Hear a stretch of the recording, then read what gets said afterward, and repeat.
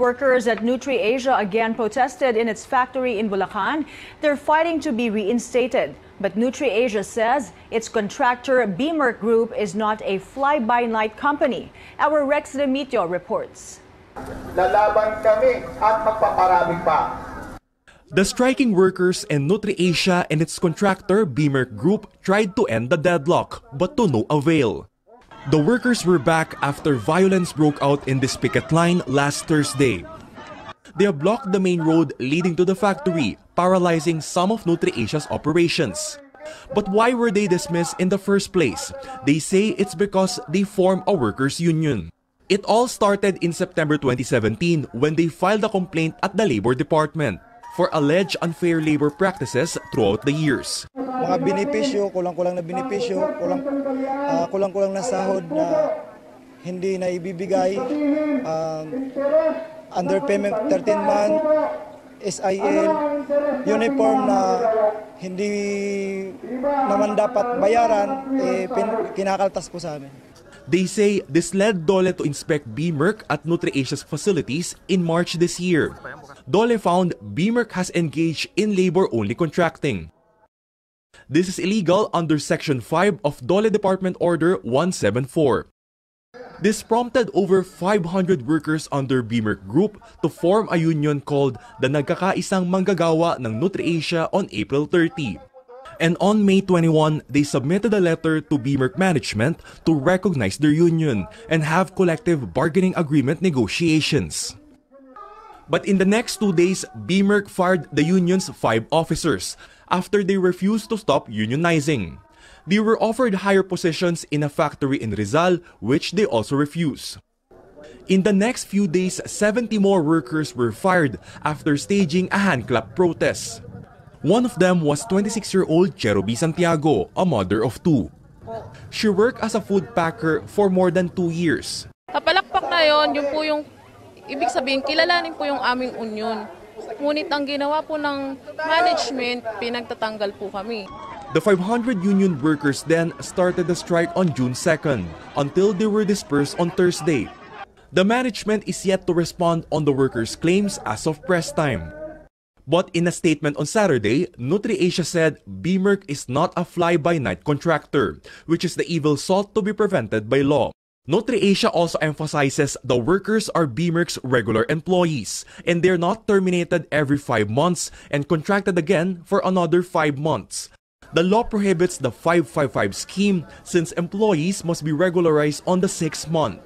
But for Santiago and other workers still at the picket line, they claim the statements of BMERC and NutriAsia are all lies. The National Democratic Front insists there was progress in the peace talks until it was suddenly scuttled by the government for reasons unknown to the group. A signed copy of the joint stand-down agreement between the two parties obtained by CNN Philippines shows they called for a temporary cessation of hostilities in which the armed units of both sides stay where they are and do not take any retaliatory moves.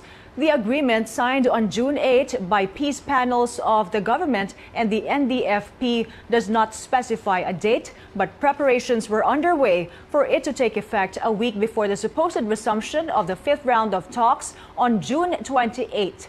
But last Thursday, the government delayed the talks, citing the need to further consult the public on the matter. President Duterte himself said he needs more time so that whatever deal is made can be implemented. The talks fell through last November following clashes between troops and the New People's Army as the government walked away from the negotiating table. Leftist group Bayan believes delaying the peace talks means a big loss to the people. Speaking to CNN Philippines, Bayan Secretary General Renato Reyes Jr. says the disclosed stand-down pact belies the claim that no progress has come from the negotiations. He adds the delay will put on hold other initially signed agreements. Well, the implications, like I said, uh, immediately it denies the people an opportunity uh, to have signed agreements that intend to address the roots of the armed conflict. Uh, these are substantive agreements on uh, agrarian reform, national industrialization, agreements on amnesty for uh, all political prisoners, and uh, possibly a more stable, coordinated unilateral ceasefire. Our senior correspondent Cecille Lardizabal meanwhile tells us what leaders and consultants of the communist group believe is the stumbling block on the part of the government to pursue the peace talks. Communist negotiating panel consultant Rey Casambre is scheduled to leave Friday for the Netherlands for the June 28 resumption of peace talks with the government. But he cancelled his flight after the government announced that formal talks won't resume as scheduled until an enabling environment is reached. malinaw when they say enabling environment, and they have said so explicitly several times. What they mean is a ceasefire. Leaders and consultants of the Communist Party of the Philippines and National Democratic Front are disappointed at what they call a unilateral decision to suspend the talks. Casambre says the NDF was prepared for a stand down or a lower form of a ceasefire, which was supposed to lead to a coordinated unilateral ceasefire under the deal to be signed when formal talks resume. What are they talking about that there's no enabling environment? That was what the agreement is supposed to produce. That is hardly a reason now kasi as early as November, the NDF and the government had agreed on a stand down. A stand down of forces is actually a ceasefire. Medyo low form lang yan. Casambre believes the government is not yet ready for the social and economic reforms stated in the provisions of the agreement. These include fiscal policies and the tax reform law, free land distribution, and rights of the working people. CPP founder Jose Maria Sison in a statement says the Duterte administration is obviously not interested in serious peace negotiations and that the revolutionary forces and the people have no choice but to single-mindedly wage people's war to achieve liberation. Casambre tells CNN Philippines Sison is willing to come back to a visit within the year, but the cancellation of talks negates this possibility. So what's next for the communist panel? They are waiting for the government team that is due to arrive in the Netherlands on Sunday to give an explanation, a more elaborate explanation of why the decision was made. In the meantime, the peace talks hang in the balance. President Duterte wants Moro National Liberation Front founder Nur Misuari to join talks on the Bangsamoro Basic Law. But this means Misuari would come face to face with the Moro Islamic Liberation Front, a breakaway group of the MNLF. Speaking in Davao City last night, the president expressed hope the two groups would give way to peace as Mindanao faces the threat of ISIS. He also appeals to the groups to give the government time to work on another peace deal if the BBL does not work out. The House and the Senate have set meetings next month to reconcile their versions of the BBL. They aim to submit it to the president for signing on the morning of his third State of the Nation address on July 23. A new victim of an alleged bullet planting incident at the NAIA Terminal 3 surfaces, but airport authorities dispute reports of a new Tanimbala incident, even as this has reached the attention of the president. Makoy Popioco reports. In a viral Facebook post on June 15, passenger Christine Bumanglag Moran expressed her shock and dismay as a 9mm bullet was discovered in the front pocket of her luggage after passing the x ray machine at the NAIA Terminal 3. Moran said it was planted. The Facebook post reached the president's office, prompting an order to several concerned agencies to investigate the matter.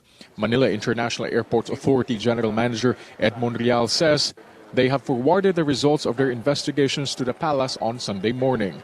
He says the bullet was really there and was not planted. Sa tingin ho namin, ginawa ko yung tama.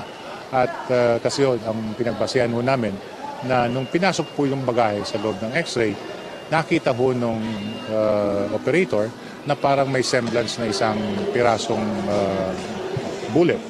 So, nung ginawan ho ng uh, manual search, it turned out to be positive po na mayroong isang piraso.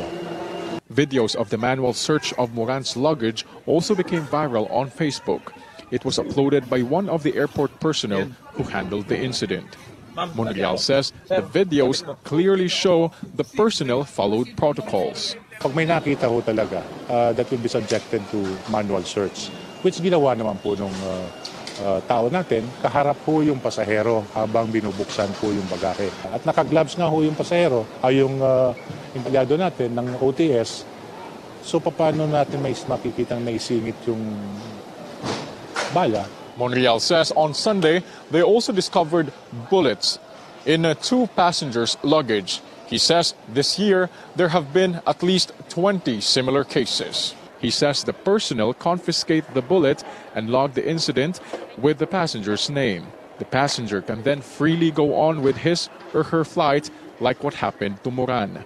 Yan po ay ginagawa natin na procedure para i-document lang po kung sino ang may pag-aari ng uh, bala just in case for future references, uh, merong magreklamo o ano, at meron ho tayong pagbabasehan. Monreal assures the public there is no tanimbala modus and that Manila airports are safe.